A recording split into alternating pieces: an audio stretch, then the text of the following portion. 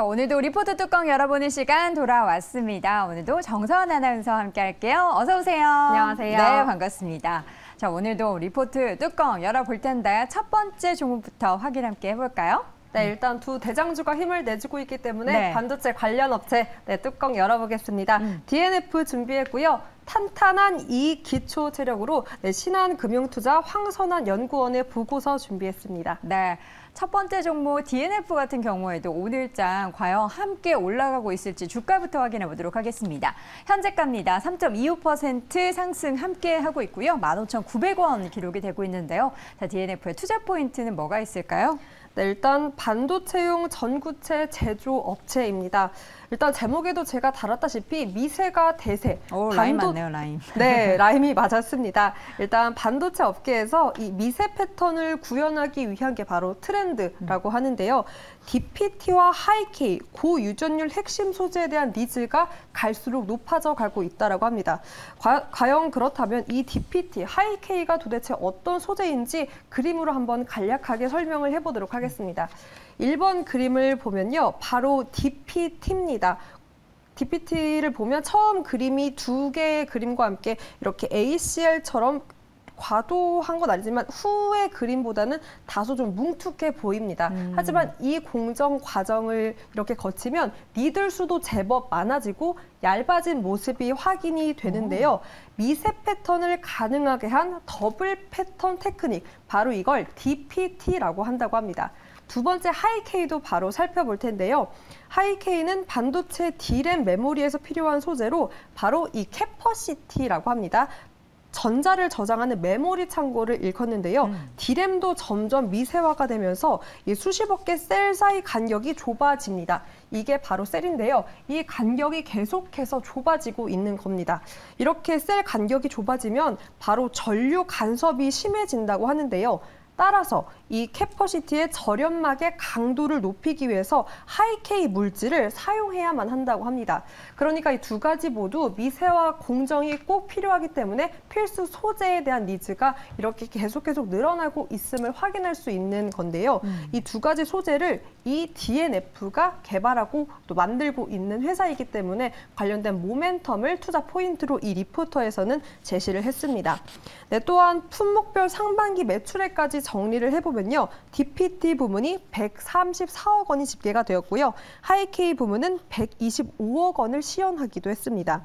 이 추세가 확인되고 있는 만큼 향후 DDR5를 중심으로 한 이 미세 공정 수요가 증가한다면 당연히 자연스럽게 이 DNF의 실적 또한 개선될 수 있다라는 포인트를 제시했습니다. 네.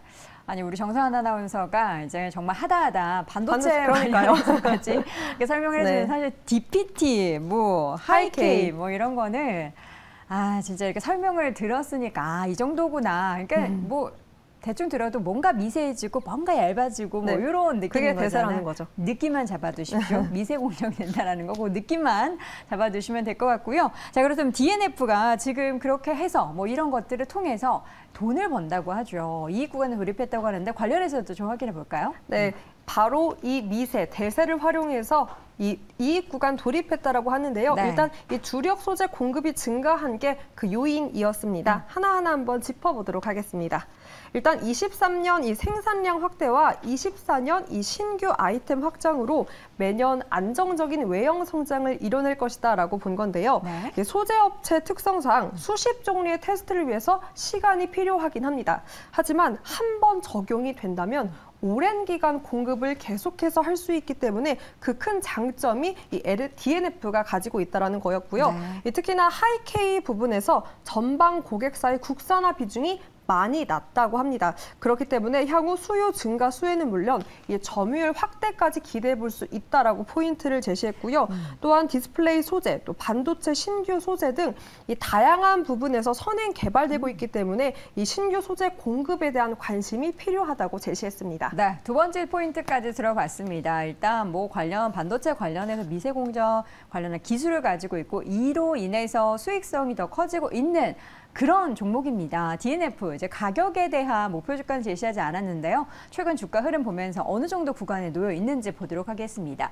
사실 지금 주가가 그렇게 좋은 상황은 음. 아니에요. 근데 지금 최근에 보면은 6월 이후에 주가가 좀 폭포수처럼 시장과 함께 아, 동반 하락을 했고요. 그 후로는 이렇다 할 주가의 모멘텀도 없었고 반도체주들이 사실 시장에서 그렇게 주목을 받지도 못했습니다. 그래서 지금 주가는 최근에야 좀 외국인의 매수와 기관의 수급에 의해서 조금 반등을 하고는 있지만 15,900원 선, 그러니까 과거에 기록했던 주가 대비해서 좀 낮아져 있는 상황인데 앞서 확인했었던 투자 포인트를 보면은 이익도 개선되고 또 그렇 다면 주가도 함께 개선될 수 있지 않을까라는 기대감을 가져보도록 하겠습니다. 자, 첫 번째 리포트 뚜껑 열어봤고요. 이어서 두 번째 리포트 뚜껑 함께 열어보겠습니다. 네, 반도체에서 미세가 대세였다면 음. 이제는 신재생이 대세입니다. 그쵸. 네, 그 속에서도 저는 오늘 수소 관련된 기업, 음. 바로 두산 퓨얼셀 리포트를 준비를 했는데요. 네. 한국을 넘어 세계로라는 제목으로 나왔고, 이 다올투자증권 전혜영 연구원이 4만 4천 원을 제시했습니다. 제가 보니까요, 7월에 이 두산 퓨얼셀 이미 한번 소개를 했더라고요. 맞아요. 그때는 NHN 투자증권에서 리포트가 나왔는데 확실히 달라질 하반기로 그때도 목표값이 같았습니다. 과연 어떤 점이 달라졌는지 리포트 통해서 찾아보겠습니다. 네, 그렇다면 현재 주가부터 먼저 보도록 하겠습니다. 두산 퓨얼셀 현재 주가의 움직임은 1.9% 오르고 있습니다. 34,950원 기록 중인데요. 자, 뭐를 기대해 보면 좋을까요? 네, 일단 수소를 이용한 친환경 발전용 연료전지 개발 기업입니다. 이 때문에 수혜를 기대할 만한 관련 법 개정에 대한 그 기대가 매우 컸는데요. 바로 수소경제 육성 및 안전관리 법, 법률입니다. 수소법이라도 일컫는데 그림을 통해서 한번 간략하게 정리를 해보겠습니다. 기존의 신재생 의무화 별개로 이 정부가 수소 발전으로 생산된 전기를 의무적으로 구매하는 제도입니다. 올해 5월에 국회 본회의를 통과했고요. 지난 6월 10일 공포됨에 따라서 6개월 후부터 본격적으로 시행될 계획입니다. 아무래도 의무적으로 정부가 사준다는 이 제, 제도 때문에 관련된 수주 확보라던가 실적에 대한 모멘텀 확보로 많은 기대가 컸는데요. 이 다만 의무 비율이 정해져 있지 않았기 때문에 이 어, 얼만큼 정해지는지 따라서 이 시장 규모도 확인할 수 있기 때문에 향후 내용이 필요해 보인다고 밝혔습니다. 네, 두산 퓨얼셀 내용을 어, 쭉 이렇게 정리를 해주셨는데 이것도 사실 굉장히 어려워요. 어려운데 우리 또 정산 아나운서가 쭉 정리해 주셨고 이어서 두 번째 투자 포인트 아래에서 확인해 볼까요? 네, 함께 체크해 보도록 하겠습니다. 일단 SOFC 기술 확보 추진이라는 건데요. 네. 이 수출 기대감과 함께 더불어서 이 기술력으로 이 추진 력을 높였다라는 겁니다. 네. 한번 자세하게 정리를 해보도록 하겠습니다. 일단 추진 중인 신사업부터 정리를 해보면요. 네. 하반기와 내년에 대한 전망을 높일 수 있는 신사업. 바로 수소 용복합 충전소에 적용 가능한 모델을 개발하고 있다라는 거였는데요. 선박에 들어가는 연료 전지라던가 자동차에 들어갈 수 있는 mobility power pack 등 이 신사업에 진출해서 향후 모멘텀 하반기를 넘어 내년까지 기대할 수 있다라는 전망을 높였습니다. 또한 기존의 인산형 연료 전지 기술 외에도 SOFC라는 고체 산화물 연료 전지 기술을 확보했다라는 건데요. 이 첫 번째 포인트를 뒷받침할 수 있는 기술 확보로 더욱 더 좀 실현 가능한 내년을 전망한다라는 투자 포인트를 제시했습니다. 네.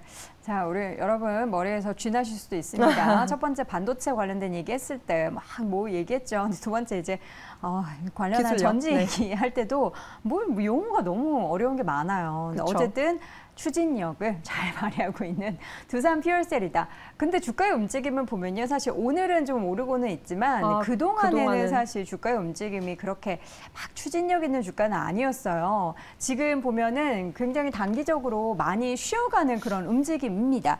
사실 이제 개인의 매수가 사실 더 많이 들어오고 있는 종목이에요. 기관 같은 경우에도 최근에 뭐 이거랄지 매수가 들어오고는 있지만 주가가 확연하게 좀 하기에는 좀 아쉬운 그런 수급의 여건이고요.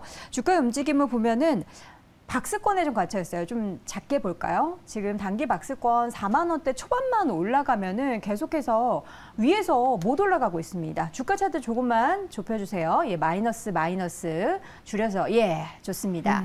자, 이렇게 보면은 단기적으로 지금 몇 개월 동안 올해 내내 음. 지금 4만 원대 초반에서 올라가기만 하면 다시 떨어지고 올라가기만 하면 다시 떨어 오히려 고점을 낮춰가고 있는 그런 상황 속에서 이 추진력 있는 사업의 내용 주가도 좀 추진력 있게 이 4만 선을 뚫어내서 목표로 제시했었던 4만 4천 원 올해 안에 좀 봤으면 하는 바람 가져보도록 하겠습니다. 자, 두 번째 종목 두산 퓨얼셀 확인해 봤고요. 마지막 리포트 뚜껑 열어보겠습니다. 네, 세 번째로 한국 콜마 리포트 한번 확인해 네. 보겠습니다. 단단한 사업 포트폴리오라는 제목으로 나왔고요. 이베스트증권 오리나 연구원의 네, 보고서입니다. 목표가로는 5만 8천 원을 제시했습니다. 네, 자 그러면 한국콜마 현재 주가 볼까요? 3.33% 역시나 오름세 보이고 있고요. 38,800원 기록되고 있습니다. 자, 투자 포인트 첫 번째는 뭘까요? 네, 화장품 연구개발 전문 업체로 많은 화장품 브랜드를 보유하고 있습니다.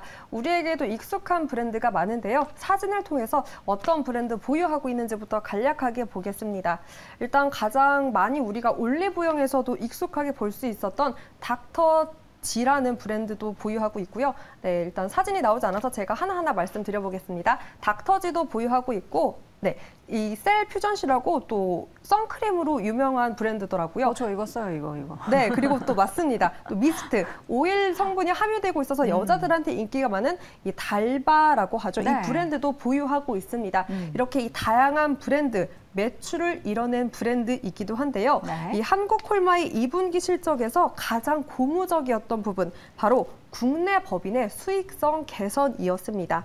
이 리포트에서는 업계 트렌드가 과거 대형 브랜드 업체보다 H&B 에스테틱 채널 브랜드, 브랜드라든지 이 더마 브랜드 등 주문이 중요하다라고 판단을 했는데요. 이게 맞아 떨어졌습니다. 이, 이에 따라서 수익성이 개선됨을 확인할 수 있었고요. 또한 올해 2분기 영업이익 개선에 더불어서 고마진 상품군 위주로 또 수입이 들어왔다라고 합니다. 이 수익성 관리 전략까지 유효했다라는 판단도 맞아 떨어졌습니다. 여기에 중국 사업도 괜찮았습니다. 2분기 봉쇄 영향에서 점차 정상화로 되어지는 과정을 보여주고 있고요. 90% 수준까지 또 정상을 보였기 때문에 앞으로의 향후 방향성도 좋다라는 긍정적 전망입니다. 또 저도 리포트를 통해서 알았는데요. 이 한국 콜마가 수제 맥주 OEM을 영위하고 있다라고 합니다. 이 견조한 실적을 더해줄 수 있는 OEM까지 한다면 하반기도 역시나 이 호실적 이어갈 수 있다라는 분석이 나왔습니다. 네, 저 화장품을 사실 이제 주로 제작하는 업체이기 때문에 어떤 맥 주를 만드는지가 저도 또 궁금했는데 그 내용이 좀 나오면은 나중에 네, 저희가 알겠습니다. 소개해드려도 좋을 것 같습니다. 요즘에 워낙에 또 이제 맥주 시장이 워낙에 다양하다 보니까 한국 콜마가 또 OEM을 하는 맥주는 뭔지 저도 궁금합니다. 첫 번째 투자 포인트 지금 상황을 확인해봤고요. 중요한 건 이제 앞으로의 전망인데 전망도 좀 좋다고요. 네, 맞습니다. 이 같은 포인트로 3분기도 호실적 이어갈 수 있다라고 봤는데요. 네. 그 성장성이 전년 대비 매출액은 33%, 영업이익은 108%대의 증가세를 보일 것이다라고 예상을 했습니다. 그 이유로는요. 이 첫 번째가 원부자재 가격 상승에 따른 고객사와 가격 협상 잘 진행되고 있다라는 점이 그 이유였습니다. 두 번째로는 이 고객사 포트폴리오가 최근 업종 트렌드에 부합을 했고 또 세 번째로는 HK 이노엔의 안정적 실적이 이 모멘텀을 이끌어 줄 것이다라는 분석을 했습니다. 또한 더불어서 이 바로 기대를 걸고 있는 게 미국 쪽 수출입니다. 연내 미국 뉴저지에 북미 기술 영업 센터를 오픈할 계획이라고 하는데요.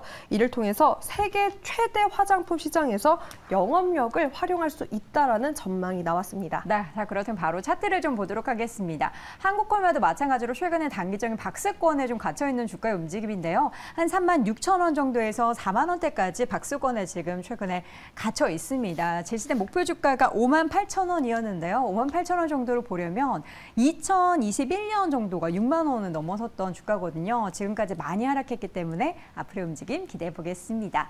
자, 이렇게 해서 오늘도 리포트 뚜껑 열어봤고요. 정선 아나운서 함께했습니다. 고맙습니다. 고맙습니다.